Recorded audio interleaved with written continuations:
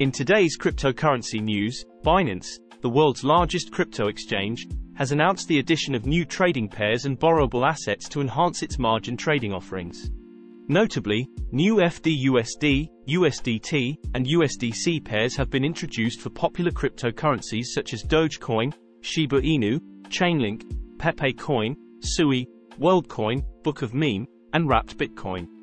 This expansion includes new pairs in both cross and isolated margin, featuring combinations like Book of Meme, First Digital USD, Dogecoin, USDC, and Shiba Inu, USDC.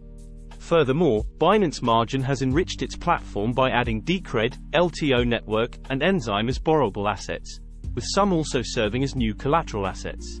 In the market, Dogecoin and Shiba Inu have shown significant rallies, with price increases of 4% and 8% respectively.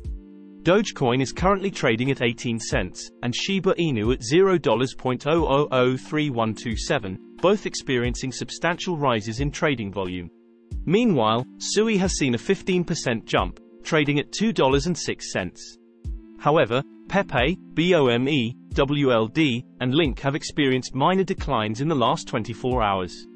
Despite this, there's a noticeable increase in futures trading for these cryptocurrencies, suggesting a potential rebound and a broader altcoin market recovery.